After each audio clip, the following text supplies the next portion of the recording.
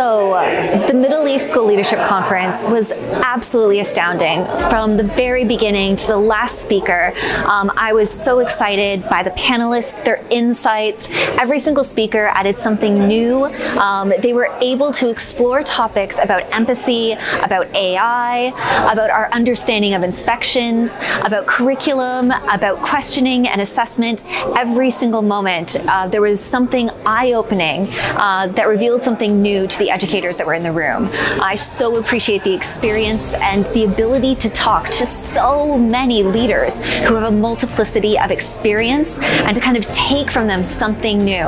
Um, it was a wonderful, wonderful two days, and I'm so grateful that I've had the opportunity to meet so many new people and learn so many new things.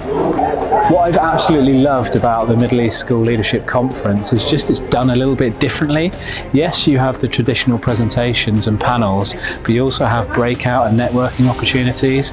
You get elevator pitches from all of the vendors, and crucially, the conversations are just massively authentic, and that stems from Lisa and the team and how they structure and organise the event.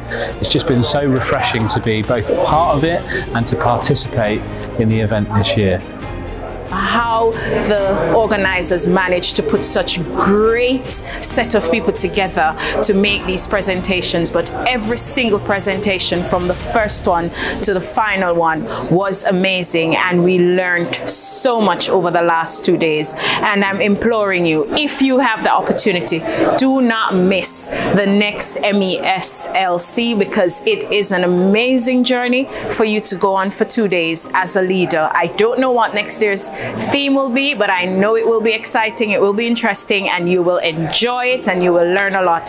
Thank you so much. Thank you to the organizers, and I look forward to next year. I've loved this conference. I mean, I, I generally love going to conferences anyway, but this one's been particularly great because what it's enabled me to do is to connect with so many different people, people I already knew, but meeting lots of other people.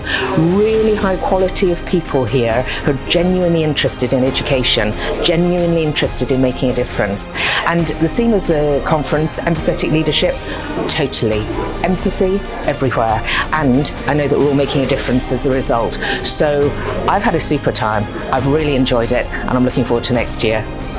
Thank you so much. I really appreciate you sticking around. Dr. Neil, thank you for this morning. And thank you, Victoria. Thank you, Hannah. Thank you, Dr. Helen. Thank you for all the speakers. Thank you for attending. I really appreciate you. God bless.